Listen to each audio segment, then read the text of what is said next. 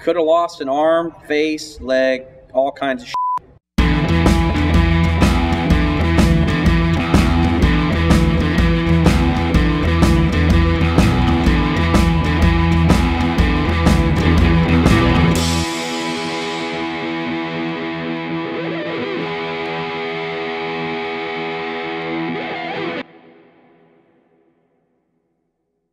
Reptiles.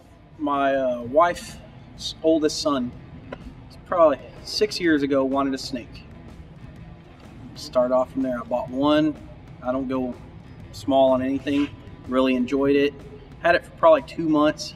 Went to my first reptile expo, which would have been a Lone Star, and I think I bought every snake I could see in there. I think I spent five or six grand easy. I bought all Don Shore stuff, bought a bunch, but I, I really enjoyed the the colubrids. I enjoyed milk snakes, corn snakes, um, king snakes. Started there, then I went out and uh, cheated kinda, and went right for adults and started buying adults and buying good adults. Five six years ago, the internet's really different now. It's a lot easier to find that kind of stuff. I I searched and searched around and I built a pretty decent amount of snakes very fast and learned my first season I had probably 20 clutches. I had a lot of fun. And then I kept buying and buying and buying. And second season, I had like 2,000 babies. And that's when I found out it's really hard to do that and have a full time job, take care of everything. Then we had babies, Real babies. real babies. um, this is one of them. And so this would have been my third year into it. I decided I can't just go to shows to sell corn snakes, milk snakes, 20 bucks a pop. Some shows are you sell 100 bucks, you spend 500 to get there. So I was like, all right, I got to find something else or I can't keep doing this. So that's when I started in dry goods. Then I decided to sell off my collection and focus mainly on dry goods. Then I really miss the snakes, so I partnered up with Ryan Sullivan, knowing some snakes out there with him. That way I can still get the enjoyment of the fun stuff. The going out there and holding a snake, put it back in there not having to water, clean it, all that good stuff. I honestly started this business with 500 bucks and I floated that 500 bucks. I, I didn't spend a penny of my reptile money for three years. Any profit, anything I made, I put back in my business. Until now, I spent 30 grand to be here this weekend, at least. On what? on Just all the goods. table? And I probably had 30 grand in my trailer. so I probably got $60,000 in inventory. But I blow money now, but for the first three years, I didn't. I wouldn't buy a Coke with Southern Reptile or DNA Reptiles money. I would not spend a penny. Now I'm am doing this full time. Yep, I've been doing this full time three years now. Three about three years. It, I do 40 shows a year, 45 shows a year. I do a lot of double show weekends. It's a lot of money. But you got to spend money to make money in this business. That's just how it is. If you enjoy your animals and you love your animals, you got to have low end too because not everybody's going to spend the big bucks that you would spend. That's what a bunch of people don't understand. You got to have thousand dollar snakes to fifty dollar snakes. That's just how this works. Because you might sell a thousand dollar snake at this show, but you might not in the next ten. You never know. That's just how this business is. Or you might have some jackass come in there with the same animal that you do that don't do it for full time and sell it for twelve dollars. I've seen it a million times where they're selling it so cheap you won't do good at that show. But if you're doing it for a full time job, they pretty much just cut your throat. Mm-hmm. This is a cutthroat business. There is a retail price, but I'm way under retail. I, I get a lot of grief of my because of my prices, but I want to sleep at night and I want to make sure the reptiles go home with at least a basic setup. I don't. I get some people that will buy what I tell them, but I get a lot of people that pick and choose what they can afford now, and I'm upfront. I'll tell them you're going to kill the animal, and they get mad at me. I've had lots of complaints, but it, I'm upfront. I don't care if you don't like me and you don't like how I tell you. I care about the reptile more than you. That's just how I am. So when they come in to buy a eight dollar turtle, I've gotten almost a fist fight because of an eight dollar turtle. Because the guy told me it's an eight dollar disposable turtle and I lost my shit. I almost choked the guy out in front of his whole family. I did cuss him out, and Sean Gray come over and pulled him and told him you better leave before that guy tears your head off because you can't come into a place where people love reptiles and tell them it's a disposable animal. They wanted an eight dollar turtle, but they didn't want to spend thirty eight dollars in lights. That's how it is. Some people don't understand the cheapest animal is the most expensive one to set up. Bearded dragons. You buy them all day, 25 bucks. Bare minimum, it's $150 to get started. That's just how it is.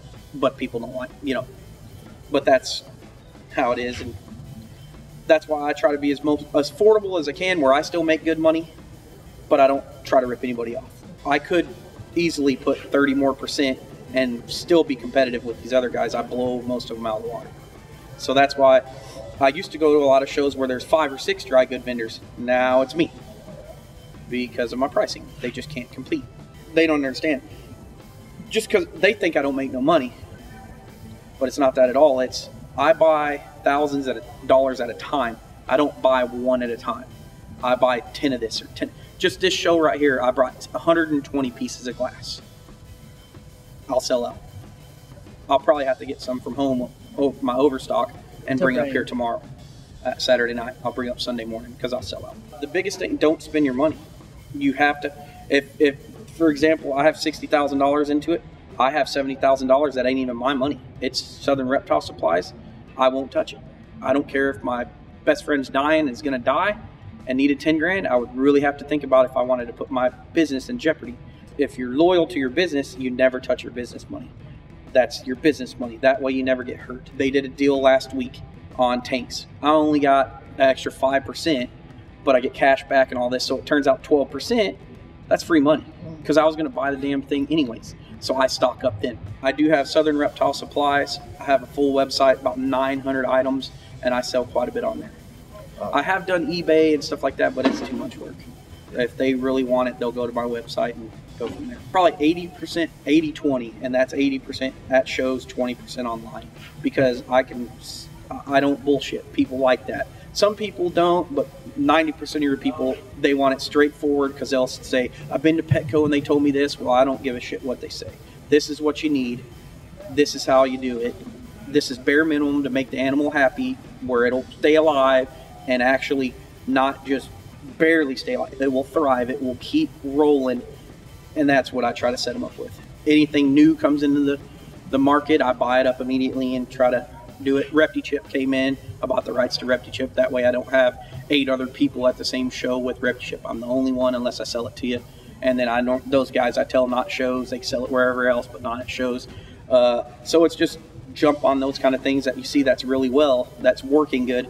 But that way you don't have a bunch of competition. I hate competition. Competition, I'll crush any competition. That's just how I am. If I have to go in the hole at this show, Tomo- tomorrow, if somebody else pulled into this show right here at NARBC and brought a bunch of tanks and all that, they would take them home. I would lose money to make sure they didn't make money. That's how this works. So if you let them come in your neck of the woods, They'll keep- they'll keep coming. They would come one time, lose a shitload of money, and never come back. I would put mine below cost just to make sure I'm selling mine, and that way I'm lazy.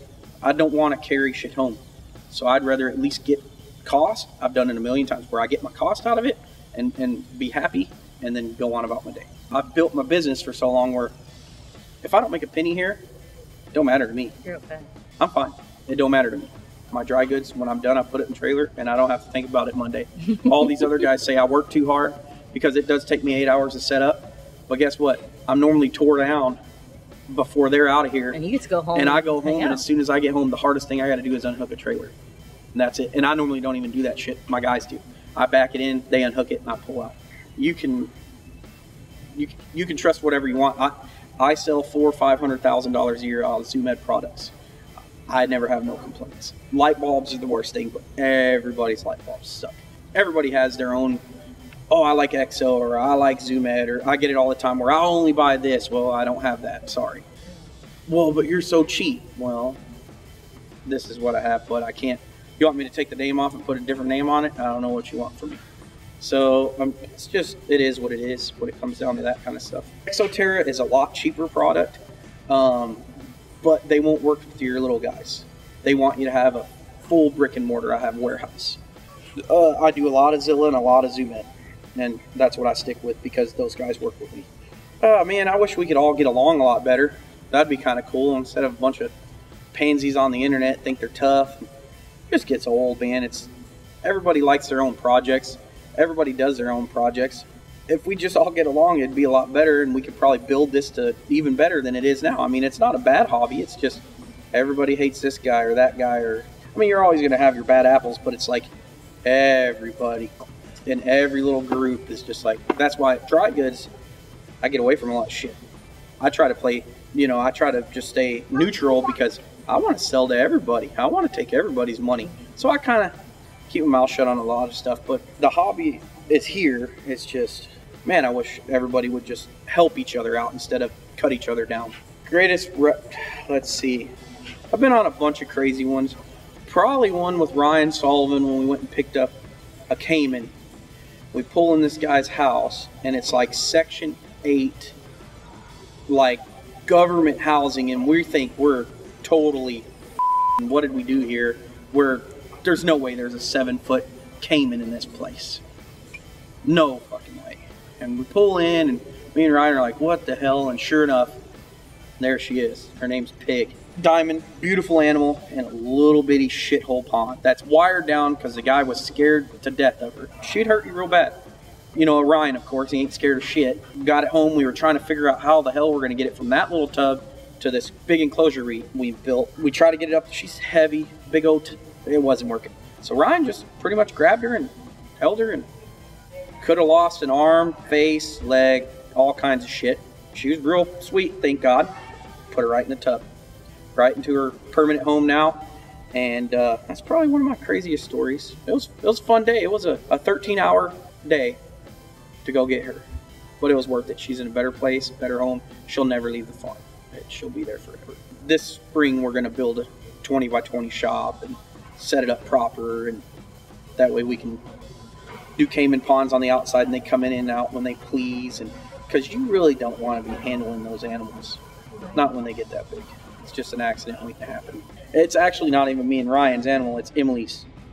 My four year old took that animal, it's not ours. Ryan's just a caretaker and I, I just bought it and it's not mine no more. It's it's definitely Emily's.